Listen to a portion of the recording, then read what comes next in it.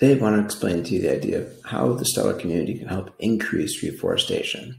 Coming off of COP26, the meetings in Glasgow, where world leaders promised that increased forest coverage globally because of the environmental impact this will bring for us, I want our community, the stellar community, to be part of this, to be part of reforesting the world.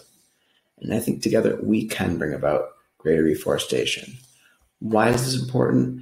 Again, the world needs more trees. This is a major climate threat that we're facing. We can help create incentives through Stellar's tools to create more reforestation. If people see an economic value from leaving the trees in the ground, from not cutting them down, why would they take the effort to cut them down? We want to create that incentive. Trading trees. This is what we're looking at. With Tree TRAK, we're looking to make it so people can trade trees. We'd create an NFT for each individual tree. We'd have a marketplace system for them and whether with our marketplace or another, people can have a wallet where they keep a record of any trees they've bought, of trees they've supported. I say people, this could also be companies, organizations, anyone who wants to have, a, to have a digital record of the trees they own. The value of the tree will increase as there's more demand for it.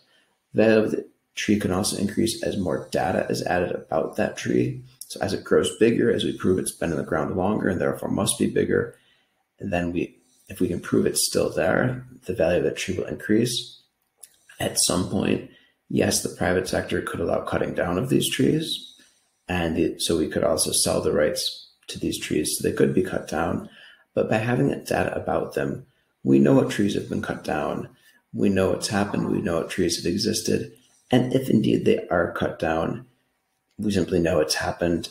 And it's less likely to happen as quickly because people have an economic reason to leave the trees in the ground if you're an existing forest owner and you see the only way to get money out from your forest is by cutting down the trees, but you say, hey, I can get an infusion of cash by selling these digital rights to, to a portion of my trees, by digitizing the records of my trees, you can get an infusion of cash without cutting down your trees and use that for other investments you might have on your property.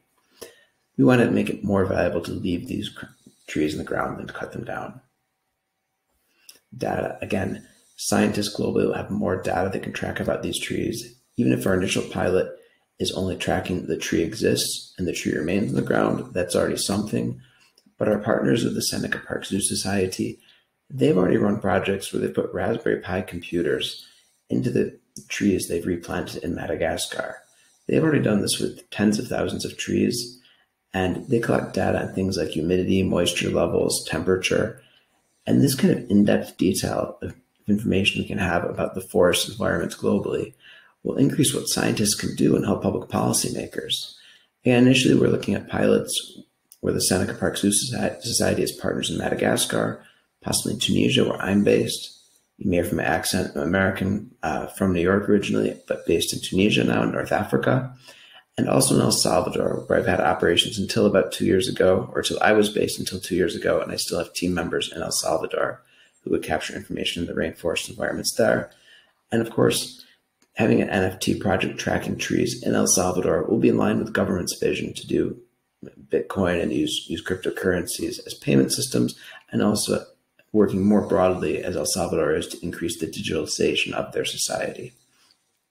So the mapping of trees eventually is going to give us a global map of where all trees are globally, where all forests. Yes, we have this from satellite systems to a degree, but we do not have at the level of individual trees. And over the long run, that would be our goal to actually track every tree on Earth. If deforestation is changing our climate, harming people and the natural world, we must, can, and reverse this trend. Of course, this quote from Jane Goodall, it perfectly describes the problem we as a whole world are facing. We want the Stellar Community Fund to be part of this, to be part of reversing this trend. This is a small step forward and can be a bigger path in changing this the situation we're facing with our, our natural environment. We want to use this to create a marketplace for trees.